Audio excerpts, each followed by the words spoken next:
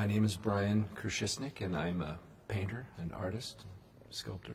One of the things that is remarkable to me about uh, Carl Bloch, there's rela- a relationship they have, of course, to the subject matter, and that's generally where a lot of uh, conversation centers. But but Bloch really loved the stuff that makes a painting. He, he had a great relationship with the material, just the, the texture of the paint when he puts it on. It, it, it, as someone who works with the same material, I can tell he's really enjoying himself. And I can just kind of get a sense of him painting, saying, oh, that's a good one uh, I love this the subject matter, and, and there's this there's this remarkable little detail that Bloch utilizes, I think, really um, doesn't overdo, but uses really nicely. And there's this little kid on the right hand who's just looking right out.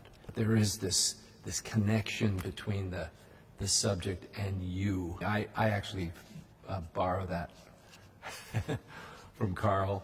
Um, uh, often in my paintings where I just engage the viewer a little bit by having someone incidentally looking out. One of the things that is uh, remarkable to me about his work, Carl Bloch's Jesus is generally, it, well, is immediately recognizable. I mean, Isaiah talks about him, you know, not being particularly beautiful. We have a hard time depicting him in artwork as not being particularly beautiful. But, but Carl Bloch's work was beginning to make a Jesus that you really might see is very influential, influential in my work.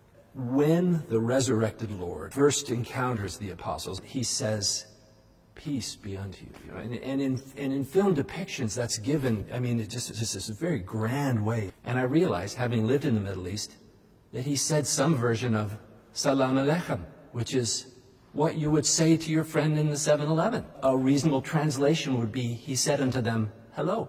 The, the idea of approaching sacred subjects with reverence is bigger than just making them pretty. The reverence that you, that you need to bring with you into sacred events needs to also include the messy hair and the dirt and a little bit of food on your on your clothes and, you know, just the things that are us, that are our experience.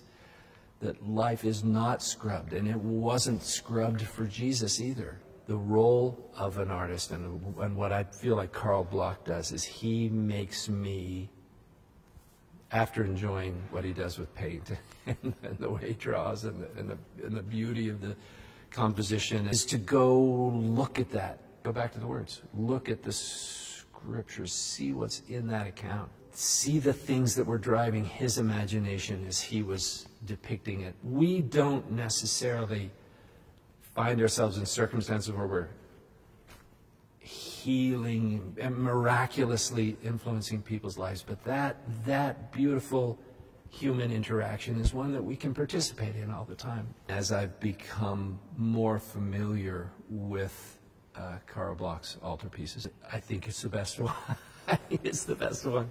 That's another thing that if I meet Carl Bloch, that he might say, no, that's not my best painting. But, but uh, I, uh, Carl, I think, I think it may be.